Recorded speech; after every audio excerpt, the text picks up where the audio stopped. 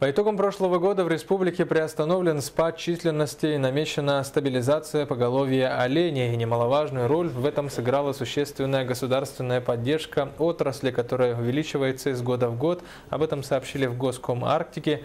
По данным, размер субвенций районам на поддержку северного домашнего оленеводства в текущем году составит 694 миллиона рублей, что на 226 миллионов рублей больше, чем в прошлом году. Сейчас оленеводы будут, должны быть заинтересованы в сохранении. Если мы раньше давали им субсидию э, по заработной плате, значит, на создание условий труда, исходя из платить, вот есть оленевод, вот ему платим.